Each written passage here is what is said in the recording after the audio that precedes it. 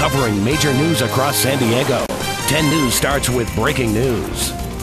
Welcome back to 10 News. I'm Steve Atkinson. And I'm Kimberly Hunt. We start today with breaking news from the East County, where firefighters are battling an out of control brush fire. For the latest, let's go to our reporter live at the 10 News Experience. Hi.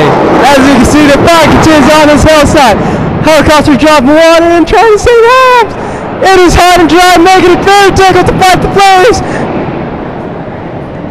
Very difficult to fight the flames. This map gives you, you a good idea how much this fire spread. We'll stay out of the lines can and have more updates in 10 minutes. Back to you in the studio. Great job. For the latest breaking news updates throughout the day, turn to 10 News. And stay connected to major news anytime, anywhere on 10news.com. We'll be right back.